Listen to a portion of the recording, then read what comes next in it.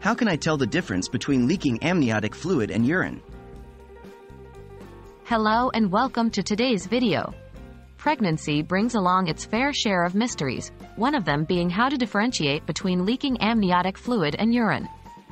This can be a critical question for pregnant women as it helps identify potential issues and promotes a healthy pregnancy. So today, let's delve into this topic to help you distinguish between these two fluids. What is amniotic fluid and why does it matter? Amniotic fluid is the fluid that surrounds your baby inside your womb during pregnancy. It plays a vital role in your baby's development by providing a cushioning environment, facilitating movement for musculoskeletal development, and providing essential nutrients and hormones.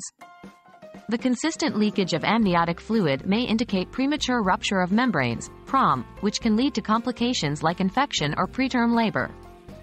Hence, it's crucial to identify this leakage promptly.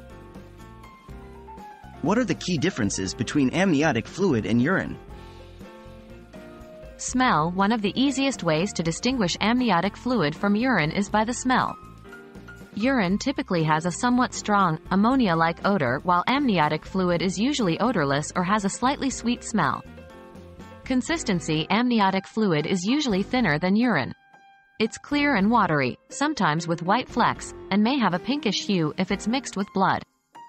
On the other hand, urine can vary in color from light yellow to dark amber, depending on your hydration level.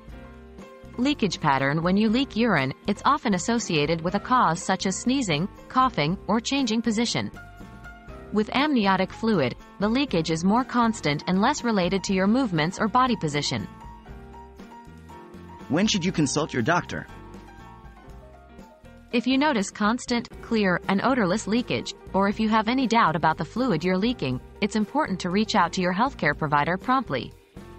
They may conduct certain tests like an ultrasound, nitrazine test, or Ferning test to determine whether the fluid is amniotic or urine.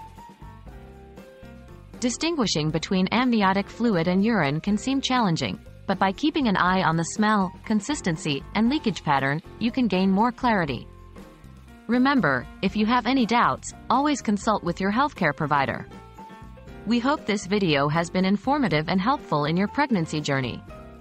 Take care and see you in the next video.